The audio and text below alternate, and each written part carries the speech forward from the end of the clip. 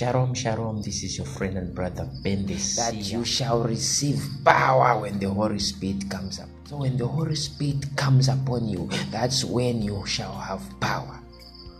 Without the Holy Spirit, you cannot have power. Without the Holy Spirit, you cannot drive out demons. Without the Holy Spirit, you cannot see in the Spirit.